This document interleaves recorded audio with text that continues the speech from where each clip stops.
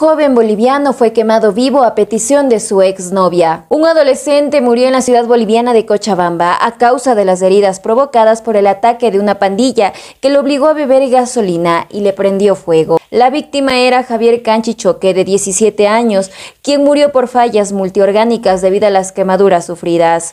Este suceso ocurrió cuando la expareja de Canchi, una adolescente de 15 años identificada como Delia, lo citó para conversar y apareció en el lugar con otros cinco jóvenes integrantes de la misma pandilla. Tras recriminarle por haberse involucrado con una integrante de su pandilla, los jóvenes obligaron a Canchi a beber gasolina, lo rociaron con el combustible y le prendieron el joven fue auxiliado por los vecinos del lugar, quienes llamaron a una ambulancia que lo trasladó a un hospital donde finalmente falleció.